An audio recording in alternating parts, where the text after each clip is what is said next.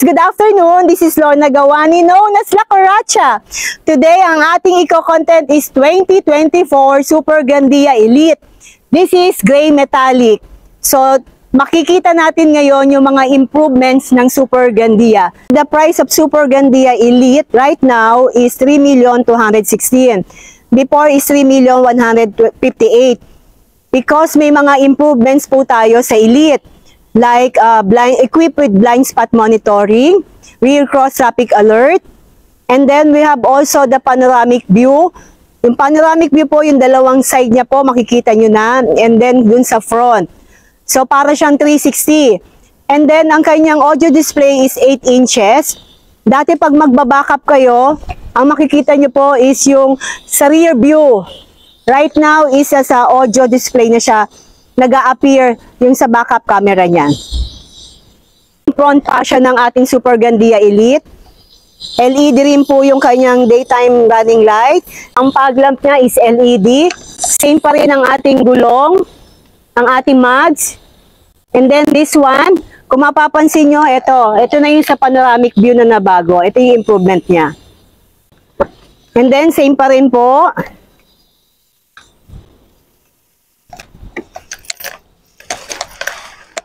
Even dun sa seats, material, same pa rin. So may mga button po rito for provision.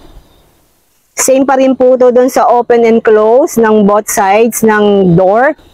Automatic high beam, same pa rin. Same. Okay, ang ating pagbabago right now, kung mapapansin nyo, yung kanyang head unit is 8 inches na. Ito yung dati nating rear view, kapag mag-reverse ka, makikita mo dito lalabas. Pero ngayon, pag mag-reverse ka, dito mo na siya makikita. Tapos, ito ang ating bago, yung rear view, yung sa panoramic. Mamaya pakikita ko kung paano siya nagpa-function. Same pa rin yung ating center console. Malawak pa rin. Yan yung mga button.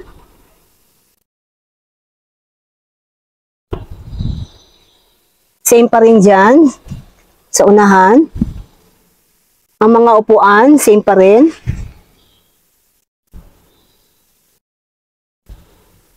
Okay, nasa atin lang yung susi, then apak sa brake, and then push. Makikita nyo, yan, meron na siyang bago sa kanyang multi-information display.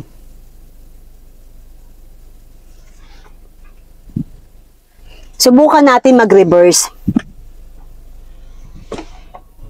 O, di ba? Ang ano na po niya, makikita niyo na siya. Tapos, pindutin natin yung view. This is panoramic. Ayan, nakita niyo po, no? Ayan po yung camera niya sa front.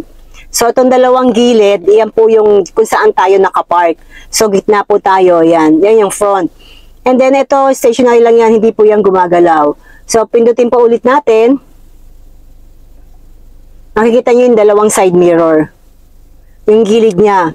Ang purpose po ng ating uh, panoramic view dun sa side, kapag may mga papasukan tayong alanganin, kung may sasabit ba or may mga naka blockage ba, may mga nakaharang po dun sa gilid, at least visible na. Pansinin nyo.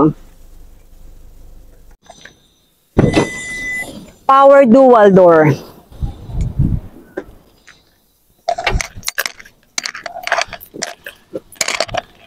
Same pa rin siya. The first rear row, so dalawa siya. And then, uh, this is Ottoman. Ang kanyang headrest is butterfly. And then, meron siyang footrest. Ang adjustment niya dito. Ayan, kung mapapansin nyo, ayan ah.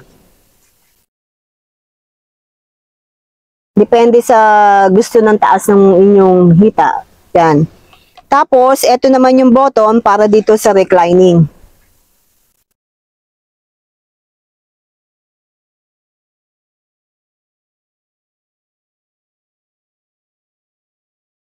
Set dito pang long drive. VIP, di ba? And then, ito, ibaba na natin.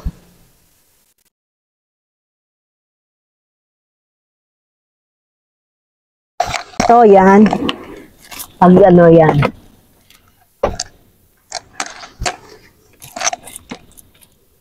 Yan, slide to, slide. Tapos, meron tayong cup holders. Siyempre, hindi tayo magpapatalo. Siyempre, habang bumabiyahe tayo, kumakain tayo. May mga chips. So, ayan. Ang, ang pagbaba na naman nito, meron tayong button na pipindutin dito. Hindi yan basta-basta binababa. Same with other side. Okay, pag gusto nyo passing dun sa second row, eto lang. Tapos pwede naman po siyang i-atras forward. I-atras forward, i-abante. And then pasok tayo. Pero bago tayo pumasok, pakikita ko muna yung railings. Pwede siyang tanggalin kasi para mahaba yung kanyang backward.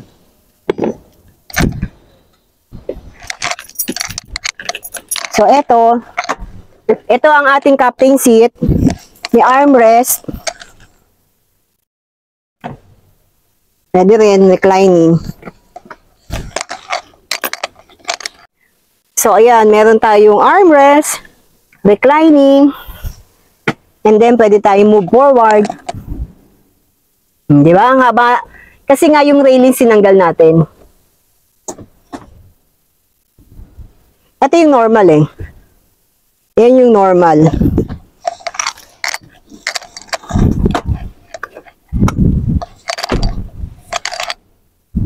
Yan ang normal. Punta tayo doon sa pinakalastro.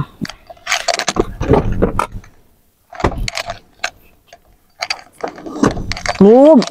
And then move natin.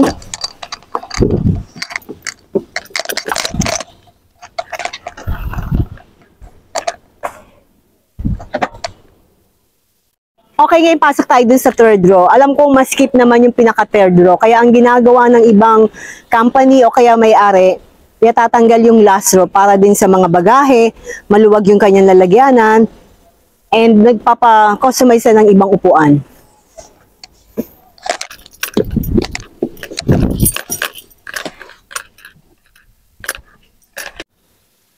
Okay, syempre galing siya dun sa pag-angat, space up kasi to eh. So, gagawin na natin yung sandalan, gagamitin.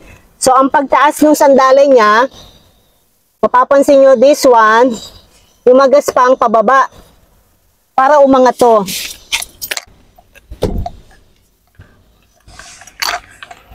Okay, yan. Nakaupo na ako sa third row. Masarap, no? Ang ganda. Pero tingnan natin paano kung normal yung mga... As in, normal yung pag-upo nila.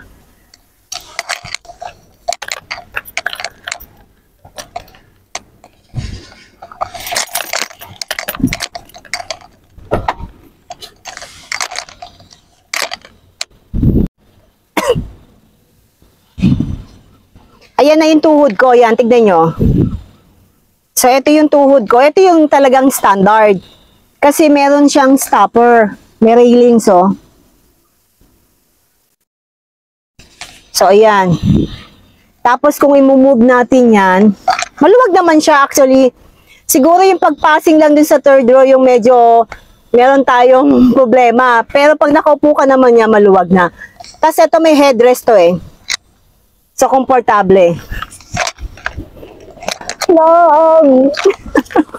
Siyempre, inaatok sila Kuratsa. Nakasakay ako eh. Eh, gusto ko medyo madilim-dilim. Though na may tint naman. So, meron siyang visor. Sun visor, yan. So, class, di ba? So, pati itong kabilang side. Lagay natin. Tingnan nyo nga din aking pag, ano, paglabas. Ayan. Yan ang aking paglabas ha. That's normal ha. Para nakikita niyo yung mga space.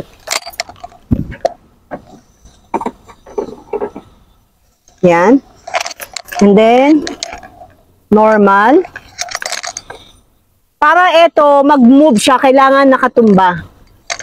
Pag hindi kasi nakatumba yan, ibig sabihin nakalak para, yan o, hindi mo na siya magalaw. Kaya kailangan siya nakatumba. Para movable.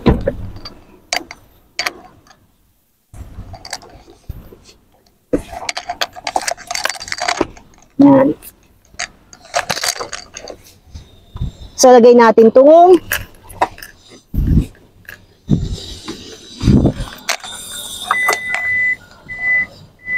can.